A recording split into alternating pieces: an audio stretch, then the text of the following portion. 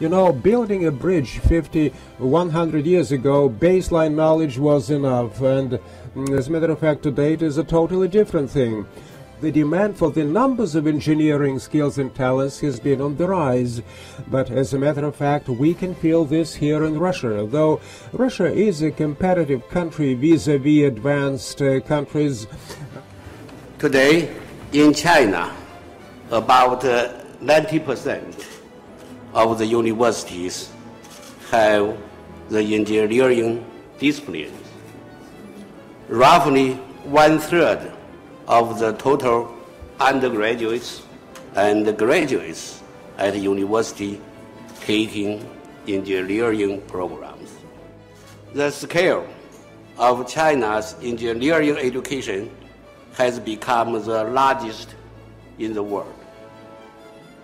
It is now the biggest challenge to China to improve the quality of the engineering education.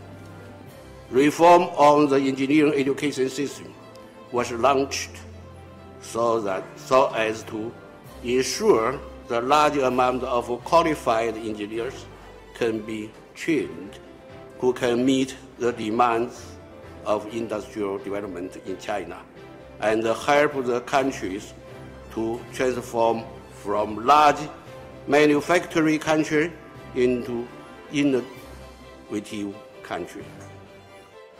The key words in the in the world today is the uh, holistic approach for project management, system management, uh, program management.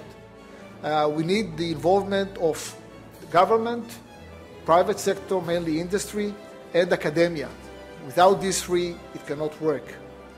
And the goal is that the 21st century engineering in Russia will lead to a significant impact for the business, for the company, and for the performances of the company. But uh, the word engineer in the uh, European uh, languages came uh, comes uh, from uh, genie of Latin, which is a genius, engineer in French that is a person who invents something based on his or her skills and I think we need to give this uh, meaning back to the profession of engineers so that uh, the engineering profession would be uh, really associated with talent, with innovations, uh, and with uh, non-traditional thinking.